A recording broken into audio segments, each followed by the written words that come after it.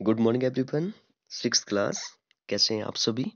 I hope all are very good today is eleventh of January 2022 uh, और day है Tuesday तो हम पढ़ रहे हैं एक्सरसाइज 12.3 12.3 का फ़र्स्ट सेकंड थर्ड और first second and third question जो वो हमने कर लिया था आज हम करेंगे question number four five six and seven total जो वो फोर क्वेश्चन करेंगे फिर जो वो eight nine ten eleven four question और बचेंगे उसको जो वो हम लोग कल करेंगे।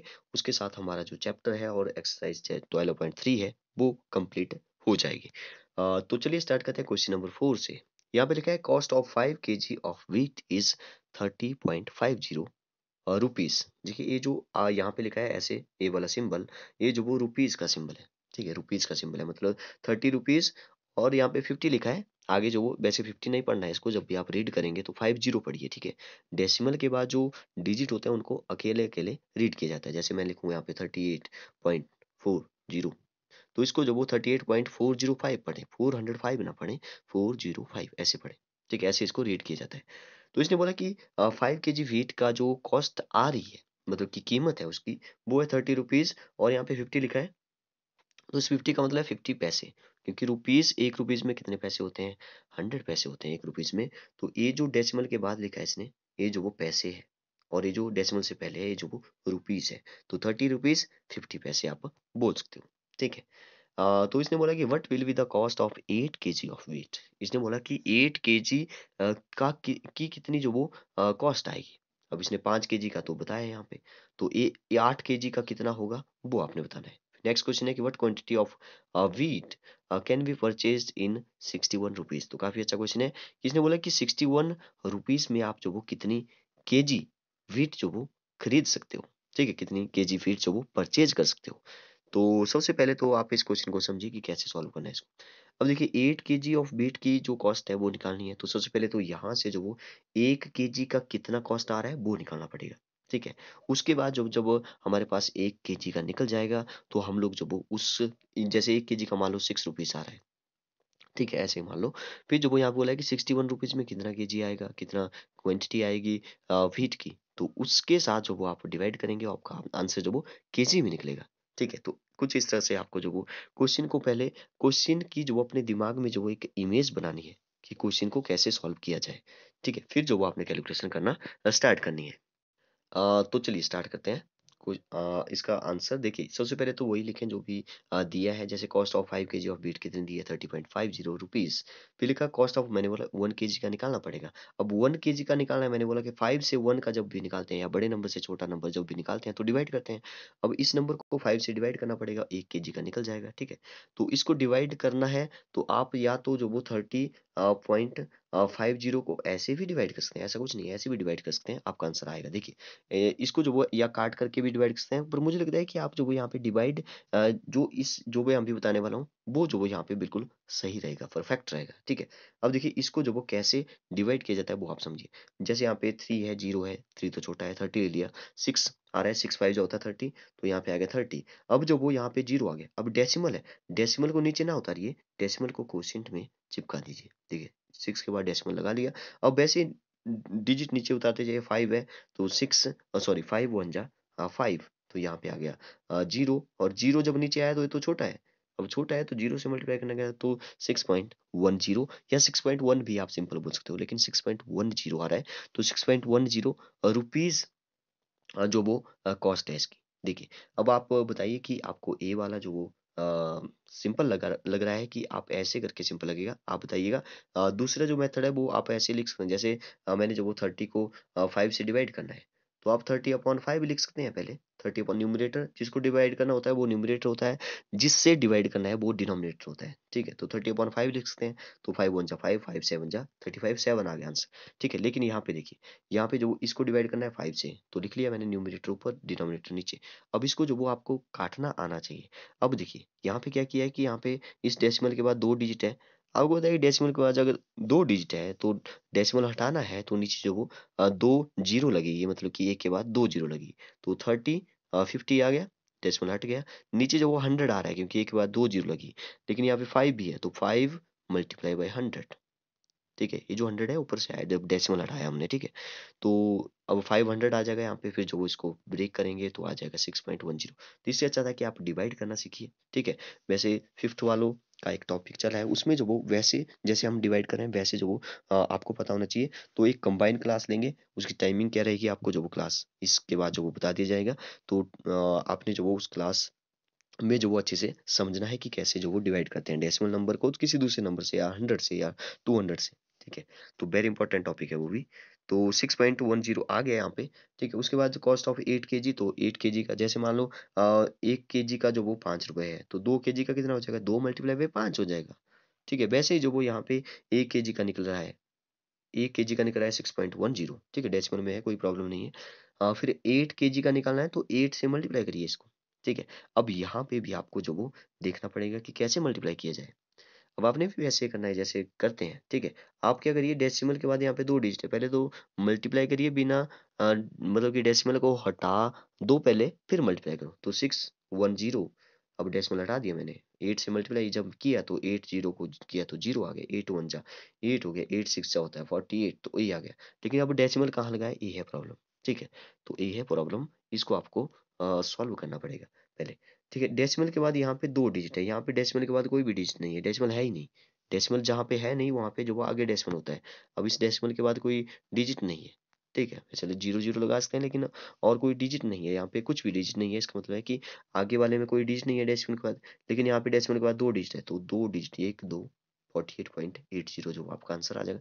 ये जो मैं कैलकुलेशन आपको बता रहा हूँ कि मल्टीप्लाई कैसे करना है डिवाइड कैसे करना है, ये आपके फेयर कॉपी पर साइड में होनी चाहिए। ऐसे जो आपने लाइन लगानी है और दूसरी साइड जो वो कैलकुलेशन कच्ची पेंसिल से या पेन से होनी चाहिए ठीक है? नेक्स्ट क्वेश्चन है वैसे ही इसने पूछा क्वांटिटी तो हमने जो पता किया कि एक के जी का कितना आ रहा है? सिक्स पॉइंट वन ज़ीरो आ रहा है ठीक है? अब इसने बोला है कि अब इसने क्या पूछा था? एक मिनट रुक जाइए। इसने पूछा था यहाँ पे यस कि सिक्सटी रुपीज़ में कितनी आ, हम लोग जो वो परचेज कर सकते हैं? सिक्सटी रुपीज़ में कितनी परचेज कर सकते हैं? हाँ अब जो वो यहाँ पे जो वो पता नहीं यहाँ पे क्या किया है इन्होंने। डायरेक्ट जो वो यहाँ पे इसका आंसर हो जाएगा देखिए। जैसे इसको लिखने की ज़रूरत नहीं है। ठीक है, आपको पता है कि अब ऊपर निकाल दिया कि एक के जी वीट जो वो कितने का आ रहा है? सिक्स पॉइंट वन ज़ीरो का आ रहा है। ठीक है?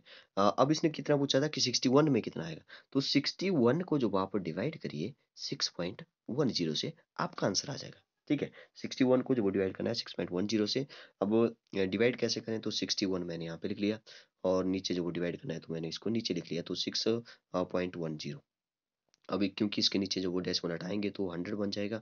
अब जो वो है हंड्रेड जो वो यहाँ पे मल्टीप्लाई हो जाएगा, ठीक है? तो एक ज़ीरो से एक ज़ीरो और सिक्सटी वन सिक्स यहाँ पे जो वो आ जाएगा सिक्सटी वन सिक्सटी वन से कट गया तो वन आ रहा है ऊपर, है ना? और वन के बाद जो वो ज़ीरो है तो सिक्स सॉरी टेन आ जाएगा, ठीक है? आप फिर से देखिए जरा, इसको जो आपने नहीं लिखना है, ठीक है? इसको मैं आपको सेंड भी नहीं करूँगा, इसको आपने नहीं लिखना है। आपने बोलना है आपकी वन के जी वीट की जो कॉस्ट है वो है सिक्स पॉइंट वन ज़ीरो तो जो वो आपने लिखना है फिर फ्रॉम सिक्सटी वन फिर ये लाइन आप लिख सकते हैं, ठीक है? Quantity of wheat can be purchase कितनी परचेज कर सकते हैं? तो आपने जो वो सिक्सटी वन में पूछा था सिक्सटी वन को डिवाइड करना है आपने सिक्स पॉइंट वन ज़ीरो से। अब जो वो डेसिमल अगर हटा दें तो नीचे हंड्रेड आएगा। ये जो हंड्रेड है, वो जब वो डिवाइड हो रहा है तो ऊपर जब वो मल्टीप्लाई हो जाएगा हंड्रेड तो यहाँ पे देखिए एक ज़ीरो से एक ज़ीरो कैंसिल हो गया। तो सिक्स वन, यहाँ पे एक ज़ीरो है तो सिक्स वन ज़ीरो और नीचे बचा सिक्सटी वन। अब सिक्सटी वन वन जा sixty one sixty one ten जा होता है, सिक्स वन ज़ीरो। तो टेन आ गया यहाँ पे, ठीक है? तो टेन इज़ द आंसर। तो टेन के जी जो वो sixty one, six point one sorry sixty one rupees में कितना आएगा? टेन के जी वीट जो वो हमें मिल जाएगा। ठीक है तो ऐसे जो आपने करना था अच्छा एक ही क्वेश्चन हुआ अभी टाइम काफ़ी ज़्यादा हो गया। क्वेश्चन नंबर फाइव देखिए the temperature dropped fifteen degree Celsius in the last thirty days तो ये बोल रहा है कि टेम्परेचर जो वो डाउन uh, हो गया थर्टी डेज़ में कितना? फिफ्टी डिग्री सेल्सियस जो वो नीचे गिर गया। If the rate of temperature drop remains the same ये बोल रहा है कि uh, जो वो हर महीने जो वो ऐसे ही रह रहा है टेम्परेचर ऐसे ही ड्रॉप होता रहा है फिफ्टीन फिफ्टीन जो वो कम होता जा रहा है। Uh, how many degree will the temperature drop in the next 10 days? तो इसने पूछा कि नेक्स्ट 10 डेज़ में जो कितना कम हो जाएगा। uh, तो ये काफ़ी अच्छा क्वेश्चन लगा मुझे। देखिए इसमें क्या खास बात है कि 30 डेज़ में जो वो कितना टेम्परेचर डिक्रीज हो रहा है या ड्रॉप हो रहा है कुछ भी मान लीजिए 15 डिग्री ठीक है? अब जो वो यहाँ पे इसने पूछा है कि 10 डे में कितना होगा? अब इसने कम पूछा। टेन डे में नेक्स्ट टेन डे में कितना डिग्री जो वो टेम्परेचर कम हो रहा है ठीक है? थर्टी डेज़ में जो वो फिफ्टीन डिग्री टेम्परेचर जो वो डिक्रीज हुआ या ड्रॉप हुआ ठीक है? अब टेन दिनों का पूछ रहा है अगर आगे पूछा होता सिक्सटी दिनों का दो महीने का पूछ दिया होता तो आप बोलते कि फिफ्टीन टू जा थर्टी डिग्री कम हो गया ठीक है? अब इसने क्योंकि कम का पूछा है अब आप, आपको है कि टेन का पूछा है अब टेन थ्री जो होता है थर्टी तो इसको थ्री से डिवाइड करिए थ्री फाइव जो हो जाएगा फाइव। फिफ्टीन होता है तो फाइव आ गया आंसर लेकिन इसको लिखेंगे कैसे? वो जो आपको बताना चाहिए। पहले लिखेंगे जो भी दिया है degree of temperature dropped in last thirty days fifteen degree और फिर degree of temperature dropped in last thirty days ठीक है? Degree of temperature dropped last thirty days ये जो वो गलत लिखा है यहाँ पे, ठीक है? इसको आप ठीक कर लें। लास्ट थर्टी डेज़ नहीं हुआ लास्ट वन डेज़ या वन डेज़ ही लिखेंगे तो अच्छा रहेगा, ठीक है? वन डे तो इन वन डेज़ मतलब कि एक दिन में कितना डिक्रीज हुआ तो आप फिफ्टीन को थर्टी से डिवाइड करिए फिफ्टीन वन जा फिफ्टीन फिफ्टीन टू जा हाफ़ डिग्री जो वो एक दिन में कम हो रहा है। तो दस दिनों में कितना होगा? हाफ़ मल्टीप्लाई बाई टेन हो जाएगा, ठीक है? तो हाफ़ मल्टीप्लाई बाई टेन करेंगे तो टू वन जा टू फाइव टू जा टेन तो फाइव डिग्री आ गया ठीक है? तो पाँच degree Celsius temperature dropped in ten days ठीक है? इसको आप टिक करें यहाँ पे।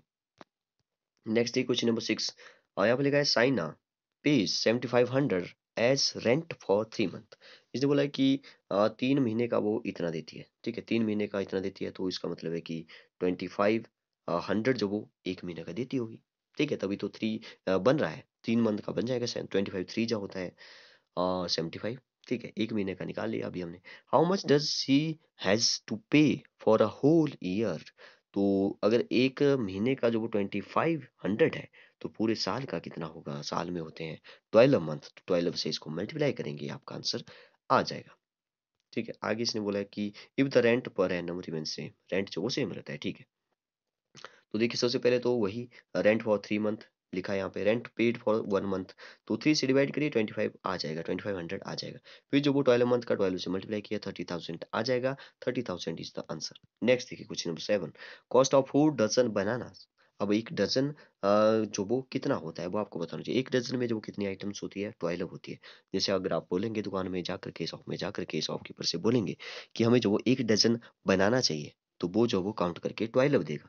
क्योंकि एक डजन जो वो ट्वेल्व के इक्वल होता है, एक डजन ट्वेल्व आइटम के इक्वल होता है।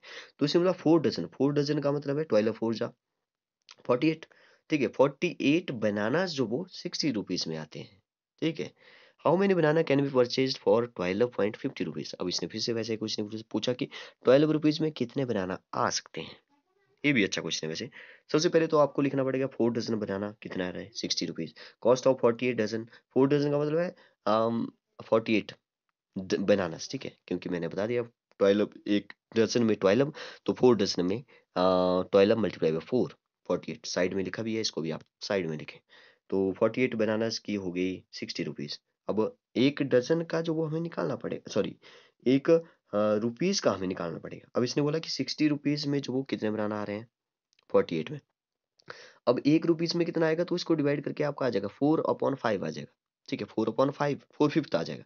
अब इसने बोला कि ट्वेल्व पॉइंट फाइव में कितना होगा तो इसको मल्टीप्लाई करेंगे ट्वेल्व पॉइंट फाइव ज़ीरो से। तो यहाँ पे जो इसको काट करके जो आपका आंसर आएगा टेन ठीक है टेन आएगा। तो टेन बनाना जो वो मैं परचेज कर सकता हूँ twelve point five zero rupees में। मतलब कि ट्वेल्व रुपीज़ और फिफ्टी पैसे में जो वो मैं कितने बनाना खरीदूँगा परचेज कर सकूँगा टेन बनाना ठीक है? तो आपका आंसर आ जाएगा। अगर आपको ए वाली कैलकुलेशन नहीं आ रही है सॉल्व करना तो आप जो वो लाइव क्लास में फिर से जो वो एक बार पूछ सकते हैं। तो सेवन क्वेश्चन तक आज आप कंप्लीट करिए। Okay? Thank you and have a nice day.